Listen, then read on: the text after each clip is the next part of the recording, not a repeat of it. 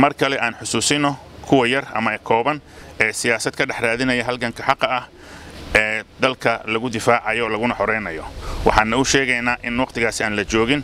ayna la gudboon tahay inay ku soo biiraan dagaalka socda amaba ay taageeraan si loogu unko mustaqbal cusub oo soomaaliya leedahay. Waxay saacadihii ugu dambeeyey howlgallo culus oo militari ay ka sameeyeen qaybo ka mida dalka waxayna ka soo hoyeen guulo waaweyn oo farxad gelinaya shacabka soomaaliyeed qarannimada iyo dowladnimadeenna wax weynna u ah maanta. Aroortii hore ee saaka ciidanka xoogga dalka soomaaliya oo kaashanaya ciidanka galmudug iyo shacabka galmudug ee go'aansaday inay khawaariijta iska dulqaadaan waxay howlgallo guulaystay ka sameeyeen magaalooyinka bacadweyn qaycad iyo degaan hoostaga magaalada camaara oo u dhexeeya camaara iyo qodqod.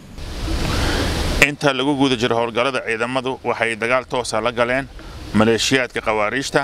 nasiib wanaagna khawaariijta ama cadowga. Halkaasi waa lagu jebiyey waxaana la gaarsiiyey khasaare ballaaran oo dowlad dib ka soo sheegi doonto faahfaahinteeda. Goobaha muhiimka aan rabno inaan shacabka la wadaagno cadowga awood militari looga saaray waxaa ka mid ah magaalooyinka bacadweyn qaycad shabeelow xinlibi galxagare huldoonyaale sargo qodqod iyo camaara waxaa kaloo aan doonaynaa maanta inaan idinla wadaagno amaba shacabka soomaaliyeed la wadaagno jabka khawaariijta shalay lagu gaarsiiyo deegaanka qodqod markii ciidanka geesiyaasha ay u daateen meel saldhigga muhiima u ahayd cadowga. Inta la ogyahay in ka badan soddon khawaariij ah ayaa lagu dila howlgalkaasi meedadkoodana waxay uga carareen goobtaasi. Waxaa suuro gashay in goobta dagaalka lagu gubo afar gaari oo cadowga ay lahaayeen halka gacanta looga dhigay laba gaari oo nooca dagaalka ah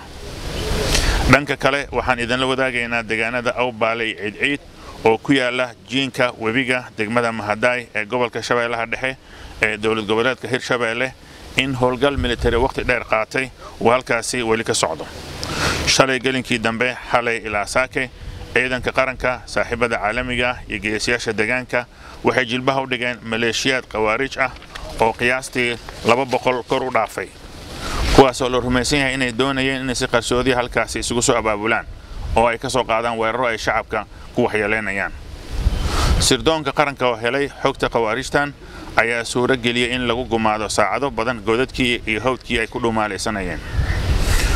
waxaan idin xaqiijinaynaa in meedadkii dhaawac khawaariijta uu halkaasi daadsan yahay sidoo kalena la burburiyey wax kasta oo saanad ciidan ah oo halkaasi ku diyaarsanayeen inkastoo howlgalkaas uu weli socdo haddana dowladda war ah ayay ka soo saari doontaa marka la soo afjaro xubnaha khawaariijta ee farakutiriska ku haray deegaanada ciidciid iyo awbaal ee hadda howlgalku ka socdo. Ugu dambayntii waxaan mar kale bogaadinaynaa shacabka soomaaliyeed ee sida hagaarla'aanta ugu istaagay taageerada ciidanka xoogga dalka soomaaliyeed ee cadowga baaxsanaya. Mar kale aan xusuusino kuwa yar ama kooban ee siyaasad ka dhex raadinaya halganka xaqa ah dalka lagu difaacayo laguna xoreynayo. Waxaana u sheegaynaa in wakhtigaasi aan la joogin ayna la gudboon tahay inay ku soo biiraan dagaalka socda amaba ay taageeraan si loogu unko mustaqbal cusub oo soomaaliya leedahay. Waa mahadsantihiin